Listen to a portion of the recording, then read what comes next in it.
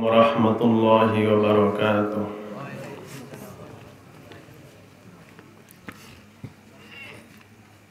আজকের সম্মানিত সভাপতি হজরত মাওলানা নাসরুদ্দিন সাহেব প্রতিষ্ঠাতা মোহতামিম দারুল হিকমা কৌমি মাদ্রাসা সাহাবার ঢাকা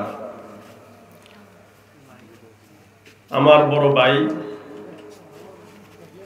মাদ্রাসার বিভিন্ন প্রয়োজনে এবং মাদ্রাসার এই এমন একটি মাহফিলের অনুষ্ঠান, তারই সাথে সাথে আরও একটি মাদ্রাসা করার কারণে বিভিন্ন প্রয়োজনে উনি আসতে পারে নাই বলেই আমি মাওলানা নাসিরুদ্দিন সাহেবের ছোট ভাই আজকে জুমার নামাজ পরে সেই ঢাকা সাবার থেকে আলহামদুলিল্লাহ আপনাদের দোয়ায় সন্ধ্যা ছয়টা এখানে উপস্থিত হয়েছে। সকাল আলহামদুলিল্লাহ। এই মাহফিল শুরু হয়েছে পর আজকে তৃতীয় বার্ষিক মাহফিল। আপনাদের ইকিতি সন্তান, আমার বড় ভাই তারই পরামর্শক্রমে আমাদের এই মাহফিল আলহামদুলিল্লাহ শুরু হয়েছে। ইনশাআল্লাহ আমরা সব আশাবাদী যে আমাদের এই মাহফিল যতদিন আলহামদুলিল্লাহ এখানে কোরআন, হাদিসের আলোচনা চলা শুরু হয়েছে ইনশাল্লাহ আমরা চাই কেমন পর্যন্ত যেন এই মাহফিলটা ধারাবাহিকভাবে চলে ইনশাআল্লাহ। আমরা চাই যে ইনশাআল্লাহ। আমাদের এখানে সুতারগুপ্তা যখনই এখানে বাড়িটা হইল মসজিদ ছিল না। আমরা তখন এখানে আসলাম আসার পরে মসজিদ না থাকার কারণে আমার এই বড় ভাই নাসরুদ্দিন সাহেব সহ আমি সহ আমার মামা এখন আমার এখানে চাচা আছে সবার সাথে পরামর্শ করলাম কীভাবে এখানে একটা মসজিদ করা যায় আমরা সবাই ইতিহাস জানি। আলহামদুলিল্লাহ আপনাদের সবার অনুদানের মাধ্যমে পরামর্শ কমে। এই মসজিদের সূচনা হয়েছে আলহামদুলিল্লাহ আপনাদের সামনে এখন মসজিদের সাত ডালাই হয়েছে। বাকি যে সকল কাজ বাকি আছে আল্লাহ জানো আল্লাহর কুদরতি ভাবে মসজিদের কাজগুলো সম্পূর্ণ করেন সকল আলহামদুলিল্লাহ। তো ইনশাআল্লাহ আমরা আজকে যারা এখানে উপস্থিত হয়েছি, সভাপতি সাহেব আসতে পারে নাই। ওনার পক্ষ থেকে আমি আপনাদের সকলের কাছে ক্ষমা প্রার্থী। আপনারা ওনার জন্য দোয়া করবেন যেন আগামী বছর যেন সভাপতি সাহেব আবার এই সুন্দর একটি মাহফিল পরিচালনা করতে পারে এবং আপনাদের সাথে দেখা করতে পারে। আপনার সভাপতি সাহেবের জন্য দোয়া করবেন সকবেলা আমি তো আল্লাহ রব্বুল আলমিনের অশেষ মেহরবানি। মোহাম্মদনগর যুব সমাজ দুইটা নাম। এই কায়নাত আল্লাহ রব্বুল আলমিন বানাইছেন কার জন্য? হজরত মোহাম্মদুর রসুল্লাহ সাল্লাহ আলাইহি ওয়াসাল্লামের ভালোবাসা এবং আজকের যে মাহপিল যে যুব সমাজের মাধ্যমে শুরু হয়েছে এই মাহপিলের শুরু থেকে দেখতেছি আলহামদুলিল্লাহ বয়স্ক মানুষ থেকে যুবকেরাই বেশি আমি দেখছি মাহপিলে বসতে পারেন আলহামদুলিল্লাহ।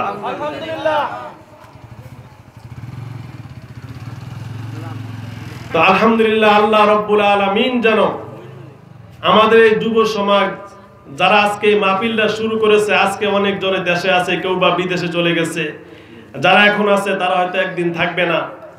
তবে আমি যারা আমাদের মুরব্বী যারা আমাদের বাপের সমতুল্য, চাচার সমতুল্য, সকলের কাছে আমি আকুল আবেদন রাখব। আমাদের যুব সমাজের যে আব্দুর রহমান, সেও আজকে হয়তো কিছুদিনের ভিতরে সে আমাদের মাছ থেকে হয়তো বিদায় চলে যাবে। তো উনি সভাপতি সাহেবের কাছে আবদার রাখছে যে, আমরা হয়তো যুব সমাজের অনেকে আমরা কর্মের খাতিরে দেশ থেকে চলে যাইতেছি বিদেশে। তো আমরা এই আমাদের সমাজের দায়িত্ব কার কাছে দিয়ে যাব? উনি বললেন যে আপনি সমাজের মুরব্বী যারা আছে, তাদের কাছে যদি এই দায়িত্বটা আমরা দিয়ে যাইতে পারি, তাহলে আমরা আশা করি যে আমাদের সমাজটা আরও সুন্দর হবে এবং আমাদের সমাজের ছেলে যারা ছোট ছোট আছে, তারাও আমাদের মতো একদিন বড় হয়ে এই মাহফিলটাকে আরও সুন্দর করে সুটম করে এবং সৌন্দর্য করে একদিন আমাদের থেকে আরও বড় পরিসর করে তারা করতে পারবে। সুতরাং আমরা যারা এই সমাজের মুরব্বী আছি আমরা ইনশাল্লাহ দায়িত্ব নিতে রাজি আছি তো ইনশাআল্লাহ তো আল্লাহ রব্বুল আলমিনের কাছে আমরা দোয়া করবো আল্লাহ যেন আমাদের সকল আশাকে পূরণ করেন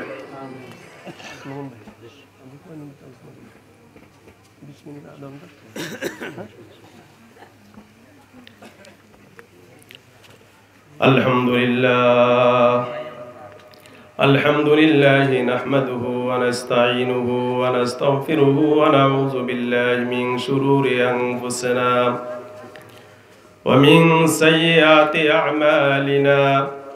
من يهده الله فلا مضل له ومن يضلله فلا هادي له.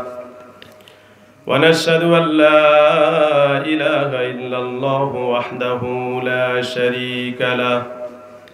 ونشهد أن سيدنا ومولانا محمدا عبده ورسوله. أما بعد فأعوذ بالله من الشيطان الرجيم. بسم الله الرحمن الرحيم. ظهر الفساد في البر والبحر. بما كسبت أيدي الناس ليذيقهم بعد الذين عملوا لعلهم يرجعون. وقال النبي صلى الله عليه وسلم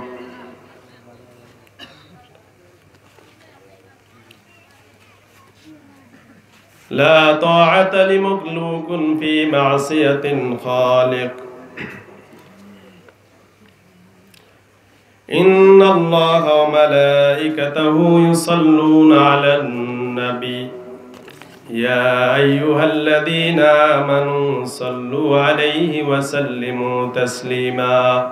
شغل درود بريك اللهم صل على محمد وعلى آل محمد. كما صليت على إبراهيم وعلى آل إبراهيم. إنك حميد مجيد. اللهم بارك على محمد وعلى آل محمد. كما باركت على إبراهيم وعلى آل إبراهيم. إنك حميد مجيد আলহামদুলিল্লাহ আজকে সন্ধ্যা থেকে আমরা আল্লাহ রব্বুল আলমিনের দুনিয়াতে সবচেয়ে সম্মানিত ব্যক্তি বড় বড় আলেমদের মুখ থেকে অনেক মূল্যবান কথা আমরা শুনেছি আমাদের এখন স্টেজে আমার বাম পাশে বসা আছেন আমাদের সকলেরই শ্রদ্ধাভাজন আমাদের বন্ধু যারা রয়েছে, সহপাঠী সকলের উস্তাদ ওস্তাদুল আজাজা এবং আল্লাহ রব্বুল আলমিন একজন নৈকট্য ব্যক্তি, আমি হজরতকে পাশে রেখে বেশিক্ষণ যদি কথা বলি হয়তো বেয়াদুবি হয়ে যাবে। এজন্য দুই তিনটি কথা বলি আমি ইনশাল্লাহ আমার কথা সমাপ্তি করব। আল্লাহ রব্বুল আলমিন যেন আমাদের সকলকে আমল করা তৌফিক দান সকল, আমিন। আমি যে আয়াতে কারিমা তেলাওয়াত করেছি, আমাদের সকলেই পরিচিত। আল্লাহ রব্বুল আলমিন বলেন, এই জমিনে যত ফেতনা, ফাসাদ, যত আজাব এবং গজব আসে, সকল আজাব এবং গজবের কারণ হলো এই মানুষ।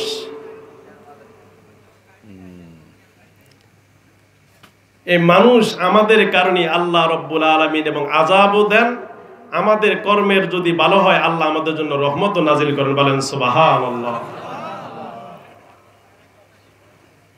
তো আল্লাহ রব্বুল আলমিন বলেন, জহরুল ফাসাদি ফিল বাররি ওয়াল বাহ জলে এবং স্থলে, উপরে এবং নদীতে সকল রকমের বিপর্যয়, যত রকমের দুরুস্বাদ ঘূর্ণিঝড় টর্নেটো সকল কিছু এই মানুষের কারণে আমি দিয়ে থাকি। আবার এই জলে এবং স্থলে যত রকমের শান্তি এই মানুষের ভালো কাজের উপরে আমি আল্লাহ নাজিল করে দিয়ে বলেন সোবাহান এখন বর্তমানে আমাদের আলেম সমাজের চতুর্দিকে আমাদের দোষ আর দোষ। বলেন ঠিক কিনা ভালো কথা বলল আমাদের দোষ, খারাপ কথা বলল আমাদের দোষ। যদি রাস্তা দিয়ে একজন আলেম হেঁটে যায়, যদি একটু জোরে হাঁটে, তখন আমাদেরকে টিটকারি দিয়ে বলে, মনে হয় মোল্লার কোথাও দাওয়াত আছে। ঠিক কিনা? আবার যদি একটু আস্তে হাঁটে, বলে, দেখো, কি খাওয়া খাইছে? হাঁটতে পারে না। ঠিক না তাহলে জোরে গেল দোষ, আসতে গেল দোষ। হজরত আশাফ আলী থানবী রহমতুল্লাহ আলী তিনি একটি, তার একটা ঘটনা থেকে শুনেছি আমি, যে তিনি একদিন একটা মসজিদে এশার নামাজের জন্য অপেক্ষা করতেছেন। তো অপেক্ষা ইমাম সাহেবকে বললেন এশার নামাজের সময় যেহেতু হয়েছি, আমরা নামাজের ব্যবস্থা করেন। তখন বলল, তো আমরা দুইজনই আছি, কীভাবে নামাজ পড়ব? দেখি আরও দুই একজন মুসল্লি পাওয়া যায় কিনা। অনেকক্ষণ অপেক্ষা করার পরে রাস্তার মসজিদের এই পাশ দিয়ে আরেকজন মুসল্লি যাইতেছে। ডাক দিল, ভাই, আসো, নামাজ পড়ি। বলল, আমি নামাজ কীভাবে পড়ব? আমার তো টুপি নাই কি নাই? টুপি নাই। ইমাম সাহেব বললেন আরে টুপি না হইলে চলবে আজকে টুপি ছাড়াই নামাজ পড়ো। মসজিদও টুপি আছে অথবা না থাকলেও আজকে আমাদের সাথে টুপি ছাড়াই কি পড়ো? নামাজ পড়ো। দেখলেন যে এখান থেকে ছাড়া পাইলো না। এখন বলল হুজুর কি নামাজ পড়ব? আমার কাপড়ই ঠিক নাই কি নাই। কাপড় ঠিক নাই। ইমাম সাহেব বলল আজকে কাপড় যেহেতু ঠিক নাই, কাপড় না ঠিক অবস্থায় নামাজ আজকে আমাদের সাথে পড়ো। কিছুক্ষণ পড়ব হুজুর, কীভাবে নামাজ পড়ব? আমার মনই ঠিক নাই, কি নাই? মনই ঠিক নাই। ইমাম সাহেব বলল, নামাজ পড়তে পড়তে তোর মন ভালো হইবে, আগে নামাজ পড়া শুরু কর। কি কর? নামাজ পড়া শুরু কর। দেখতেছে, তারপরও ছাড় দিতেছে না। ঠাস করে কয়ে বলল, আপনারা হুজুরেই ভালো না, আপনারা হুজুরেরাই ভালো না। এখন তো সব কার কান্দে গেল? এরকম বর্তমানে অবস্থা আমাদের হয়েছে কি হয় নাই? কার আওয়াজ শুনব? এই হুজুর বালা না, এই হুজুর বালানা সবই আমরা খারাপ। সকল দোষ হলে এখন আমাদের আলেমদের। বর্তমানে দেখবেন যত ভালো মানুষ আছে, তাদের সব দোষ তাদের কান্দে। তো আল্লাহ রব্বুল আলমিন আমাদের সকলকে এই সকল মন্দ কাজ থেকে হেফাজত করুন সকল আমি আজকে সমাজের ভিতরে আমরা সবাই ফেরাউনকে চিনি, ভাই সবাই ফেরাউনকে চিনি কিনা? এই ফেরাউনের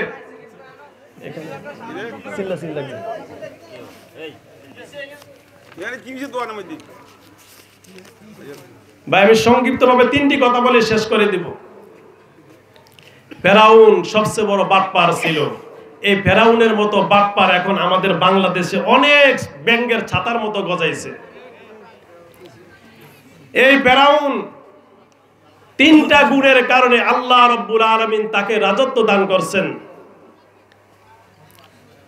আমরা ইতিহাস জানি হজরতে মুসা আলী সালাম যখন নবুয়তি প্রাপ্ত হলেন, মুখের তোতলামির কারণে আল্লাহ রব্বুল আলমিনের কাছে দোয়া করলেন, আল্লাহ, আমার মুখের জড়তার কারণে আমি মানুষকে দাওয়াতের কাজ বুঝাইতে পারি না।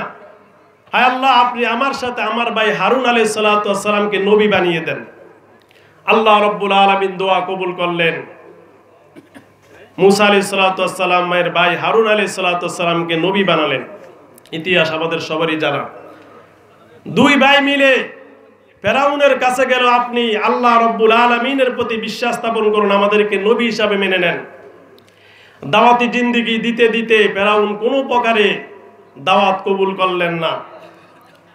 হারুন আলাই সালাম আল্লাহ রব্বুল আলমিনের কাছে দোয়া করলেন আল্লাহ, আপনি তো নবীদের দোয়া কখনো বিপরে দেন না।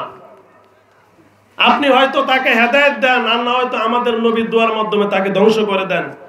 কিন্তু সে হেদায়ত পাইতেছে না, ধ্বংস হয় না, তার কারণ কি?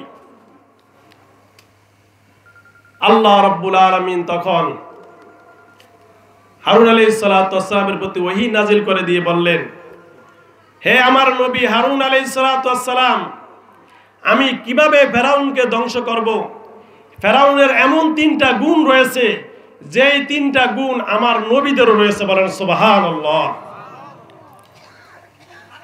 এক নম্বর ফেরাউনের গুণ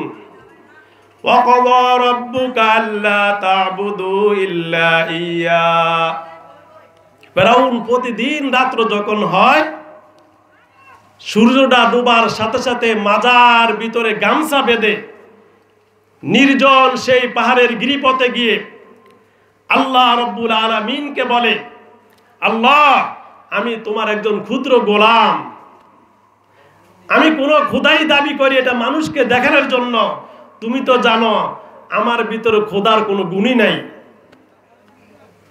এইভাবে ফেরাউন সূর্য যখন ডুবে যায় সেই পচরের আজান পর্যন্ত আল্লাহ রব্বুল আলমিনের কুদরতি পায়ে সেজদা দিয়ে আল্লাহর গোলামি করে আর আল্লাহ রব্বুল আলমিনের কাছে খাঁটিভাবে তোবা করে বলেন সুবাহান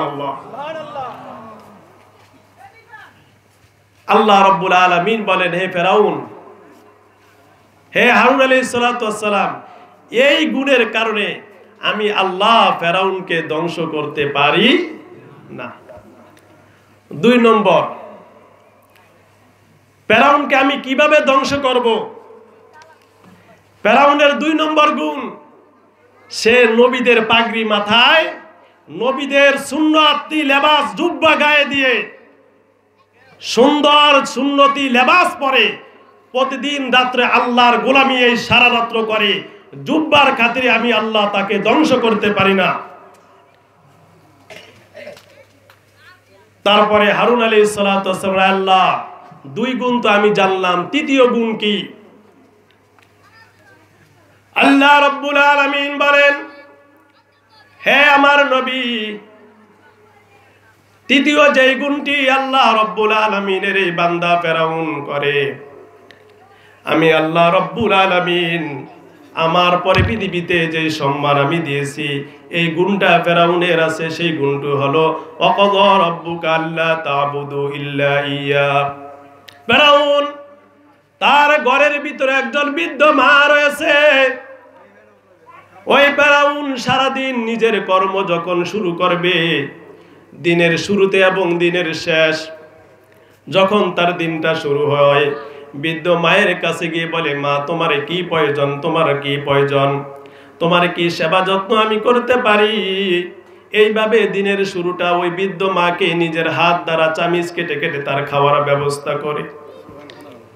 এইভাবে খাওয়ার ব্যবস্থা করে দিয়ে বেড়াউন তার খুদাই আসনের ভিতরে রাজত্ব করার জন্য চলে যায়। আর ওই মার কাছে বলে, মা, তোমার সেবা যত্ন আমি পরিপূর্ণভাবে করেছি, তুমি আমার জন্য দোয়া করো। আমি যেন কখনো এই দুনিয়াতে বেজ্জতি না হই। আবার সন্ধ্যা যখন গড়িয়ে যায় বেড়াউন আবার নিজের বাড়িতে চলে এসে বিদ্যমার সেবা যত্ন করে মায়ের কাছে দোয়া চায়। আল্লাহ রব্বুল আলমিন এই তিন কারণে আল্লাহ রব্বুল আলমিন ফেরাউনকে রাজত্ব দান করেছেন। হারুন সালাম যখন তিনটায় কারণ আল্লাহ রব্বুল আলমিনের কাছ থেকে জানতে পারলেন জানার পরে মুসা আলী সালাতামকে বললেন, ভাই, চলো আর বসে থাকলে চলবে না। যে তিন গুণের কারণে আল্লাহ ফেরাউনকে রাজত্ব দান করেছেন, ফেরাউনকে এই রাজত্ব দিয়েছেন।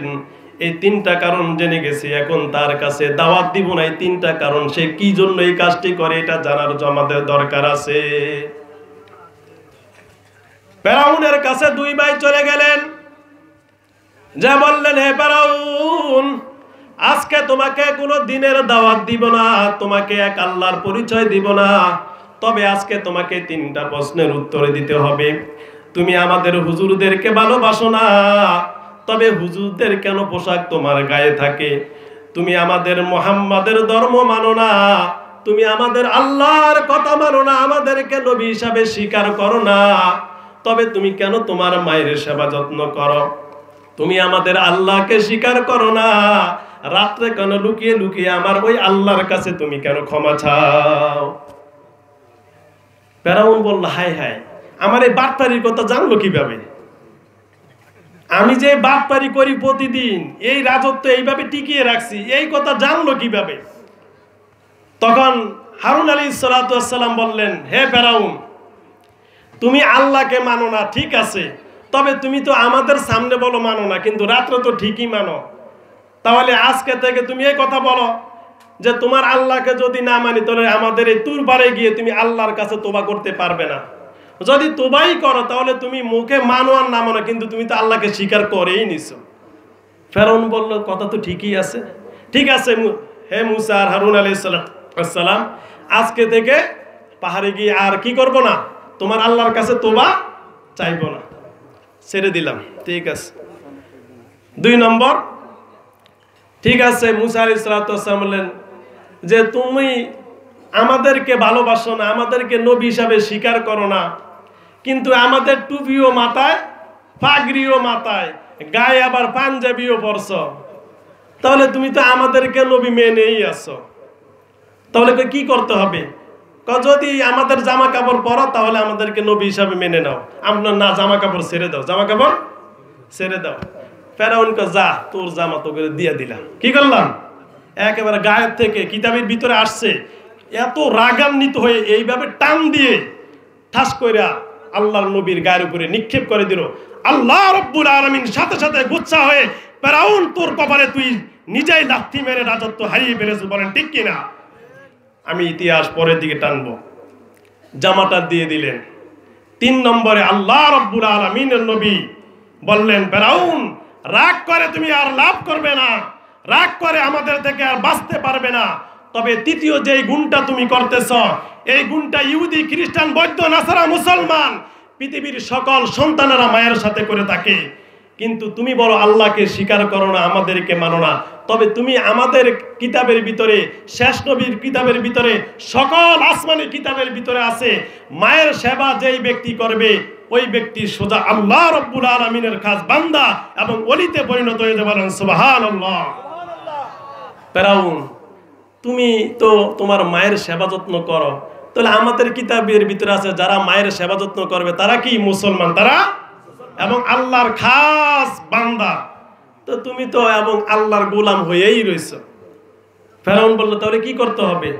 যদি তুমি আল্লাহ রব্বুল আলমিনকে স্বীকার করো আর মায়ের সেবা যদি করেই থাকো, তাও তুমি মুসলমান হয়ে গেছো।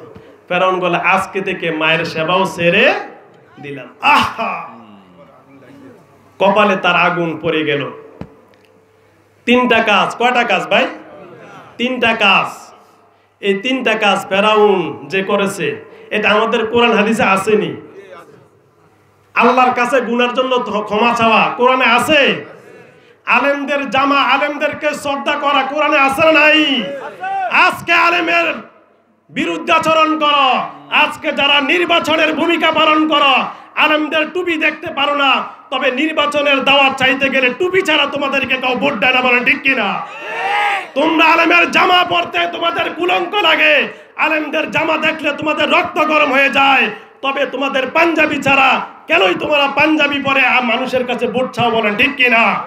বুঝা গেলে তোমাদের এই আলেমদের টুপি এবং পাঞ্জাবি ছাড়া তোমাদের ক্ষমতাও থাকবে না বলেন, ঠিক কিনা?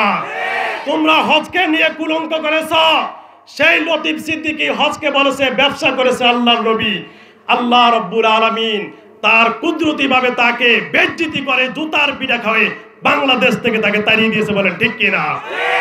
সুতরাং আমাদের দেশে একটা কথা আছে, যে যারে যত নিন্দে, সে সেই জিনিস বেশি ফিন্দে। তোমরা আমাদের জামা দেখতে পারো না, টুপি দেখতে পারো না, তাহলে জামা, টুপি পরা সারা দিয়ে দাওয়াতের কাছে এবং নির্বাচনী প্রচারণা করতে পারো না। তখন তো আনন্দের কাছে মাথাটা পেতে দিয়ে বলো, হুজুর, একটু দোয়া করে দেন। টুপিটা তো সর্বপ্রথম আমাদেরটাই দিলা। জামাটা তো আমাদেরই পরশ। প্যারাউন এই বাটপারি করেছে। সুতরাং আজকে যারা প্যারাউনের মতো এই গাদ্দারি করে প্যারাউনের রাজত্ব টিকে নাই, তোমাদের রাজত্ব থাকবে না বলেন, ঠিক কিনা? বাটপারদের জমিনে কোনোদিন ঠাই হয় না। ইসলাম আছে, থাকবে কেমত পর্যন্ত থাকবে। বাবা আদম থেকে যারা বাটপারি করেছে, তাদেরকে আল্লাহ রব্বুল আলমিন সায়স্তা করেছে বলেন, ঠিক কিনা? আমি ফেরাউনের তিনটা ইতিহাস বলার উদ্দেশ্য হলো, ফেরাউনে তিনটা কাজ করার মাধ্যমে আল্লাহ তাকে রাজত্ব দান করেছেন। ছেড়ে দিল এক নম্বরে আল্লাহ রব্বুল আলমিনের গোলামি পাহাড়ে গিয়ে আজকে আল্লাহ রব্বুল আলমিন গোলামি ছেড়ে দেওয়ার কারণে আজকে ইহুদি খ্রিস্টান, আজকে মুসলমানের সন্তান হয়ে মুসলমানকে মারে। আজকে আমরা আল্লাহ রব্বুল আলমিনের কাছে চাইতে পারি না বলে, ঠিক কিনা? ফেরাউন যদি আল্লাহর কাছে চাওয়ার কারণে সে রাজত্ব পেয়ে থাকে, তাহলে আমরাও আজকে আল্লাহর কাছে চেয়ে রাজত্ব পাবো কি পাবো না, ইনশাআল্লাহ। দুই নম্বরে, ফেরাউন যদি আলেমদের জামা পরার কারণে আল্লাহ তাকে ছাড় দিয়েছে, রাজত্ব দান করেছে আমরাও যদি আজকে আলেমদেরকে শ্রদ্ধা করি, আলেমের পাঞ্জাবিকে শ্রদ্ধা করি, আলেমদের টুপি পরে আলেমদেরকে শ্রদ্ধা করি, আল্লাহ আমাদেরকে জমিনের রাজত্ব দান করবে ইনশাআল্লাহ। তিন নম্বরে ফেরাউন যে রাজত্ব পেয়েছে মা বাবার সেবা করার কারণে, আজকে আমাদের প্রতিটা ঘরে ঘরে, আজকে প্রতিটা সমাজে সমাজে, আজকে মা বাবারা লাঞ্ছিত। মা বাবাদেরকে সেবা আমরা করি না। বাস্তব না বাস্তব বিবাহ করার সাথে সাথে মাকে আমরা মা বলতে লজ্জা লাগে, বলে, নাউজুবিল্লাহ। আহা।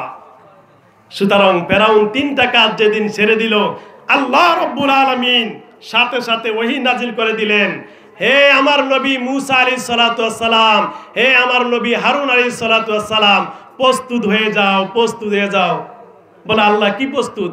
কয়, এখন ফেরাউনের মারি খাওয়া শুরু হবে। বাড়ি খাওয়া শুরু হবে। কয়, আল্লাহ কেন? যেই তিন কারণে তাকে রাজত্ব দিছি, এই তিনটা তো সাইডেই দিছে। এক নম্বরে, আমার গোল আমি তুর ভরে যাওয়া বন্ধ। দুই নম্বরে, আরামের পাঞ্জাবি তো তোমার সামনে খুলে নিক্ষেপ করে দিল। তিন নম্বরে, যেই মায়ের কারণে আমি রাজত্ব দান করে দিলাম, সেই বৃদ্ধ মা বাবার সেবা করা বন্ধ করে দিয়েছে। কালকে থেকে তার নীল দরিয়া আমি সুবামু আর সুবামু। সুবামু আর সুবামু। সুবাইছে না?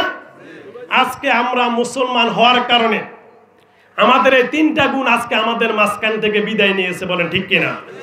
এই জন্য আমাদেরকে আজকে ইসরায়েল আমাদেরকে চুবায়, আমেরিকা চুবায়, আমাদের দেশের ইহুদি খ্রিস্টানরা মুসলমানের সাথে তাল মিলিয়ে আমাদেরকে শুধু মারে আর মারে।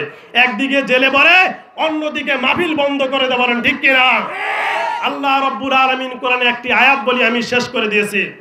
আল্লাহ রব্বুর আলমিন বলেন وقال الذين كفروا لا تسمعوا لهذا القرآن والغوا فيه لعلكم تغلبون আলেম ওলামারা বসা আছে যখন আল্লাহ রব্বুল আলমিন পবিত্র কোরআন নাজিল করে দিলেন রসুল করিম সাল্লাহ সাল্লাম কোরআনের বাণী পচাইতেছিলেন কোন পর্যায়ে আল্লাহর কোরআনের ভালোবাসা আল্লাহর কোরআনের দিনের প্রচার বন্ধ করতে পারে তখন আবু জেল উদ্বা সাহিবা কি বলেছে শুনেন আলেমেরা বসা আছে আবু জাল উদ্বা সাহিবা বলল, হে আমার কাফেরেরা, হে আমার সৈন্যরা, হে আমার সহপাঠীরা, মোহাম্মদ সাল্লাহ সাল্লামের দাওয়াতি মিশন তো বন্ধ করতে পারি নাই।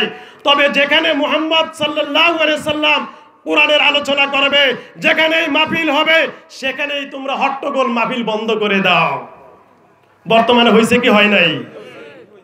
গানের অনুষ্ঠান, আরে বাবারে বাবা, কীভাবে চলছে?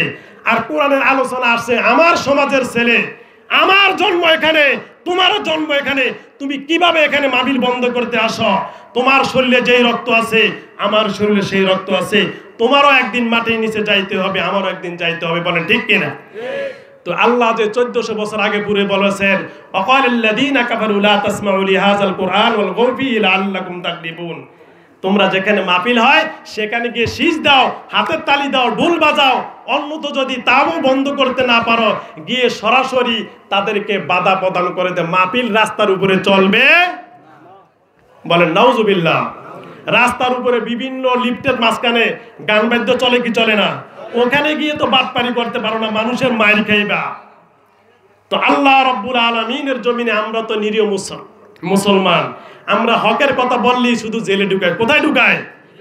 আল্লাহ রব্বুল আলমিন বলেন, ইন্না নাহনু নাজ্জালনা যিকরা ওয়া ইন্না লাহু লাহাফিজুন। এই কোরআন আমি আল্লাহ নাজিল করে দিয়েছি, আর এই কোরআনের হেফাজতের দায়িত্ব আমি আল্লাহ নিজের কুদরতি হাতে নিয়েছি বলেন, সুবহানাল্লাহ।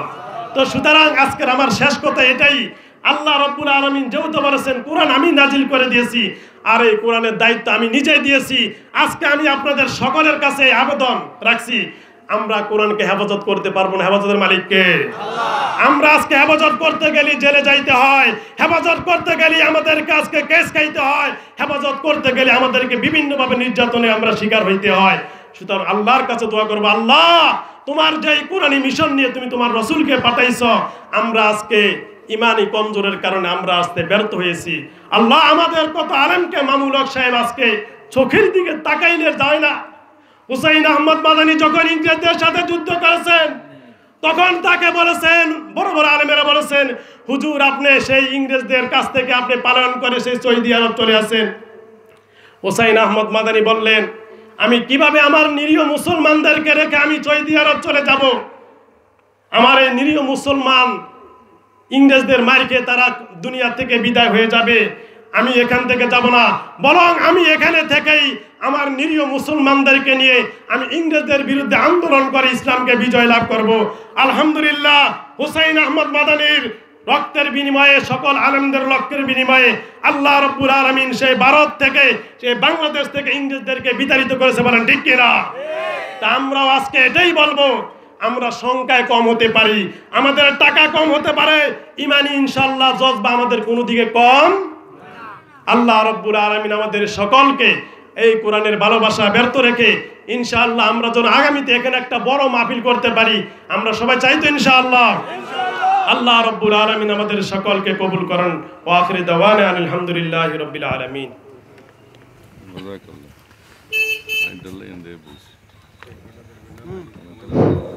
আলহামদুলিল্লাহ, অল্প সময়ের ভিতরে গুরুত্বপূর্ণ বক্তব্য দিয়েছেন ভাষণ রেখেছেন। কোরআন হাদিস থেকে আলোচনা করেছেন। ইসলাম ইতিহাস, ইসলাম সাক্ষী। ইসলাম ছাড়া মানবতা হয় না, ইসলাম ছাড়া সর্বসম্মিতভাবে মিলেমিশে থাকা যায় না। স্বাধীনতা সার্বভৌমত্ব টিকিয়ে রাখার জন্য ইসলাম অবদান রেখেছেন। পৃথিবীর সুরঙ্গ থেকে পর্যন্ত ইসলাম ছাড়া মানবতা গঠিত হয় না, ইসলাম ছাড়া সমাজ গঠিত হয় না। ইসলাম ছাড়া রাষ্ট্র গঠিত হয় না। ইসলাম ছাড়া দেশ দেশের শান্তি কল্যাণ বয়ে আনতে পারে না। সুতরাং দিনী জলসা পৃথিবীর শুরু থেকে পর্যন্ত নিয়ে অনেক বাধা বিপত্তির পর আমরা মুসলমানরা এখনও জেগে আছি, জেগে থাকব। ইসলাম আছে, ইসলাম থাকব। মুসলমান আছে, মুসলমান থাকব। আমি আর বক্তব্য বেশি বাড়াতে চাই না। আমাদের এই মোহাম্মদনগর বরাবর এই জামে মসজিদ যুব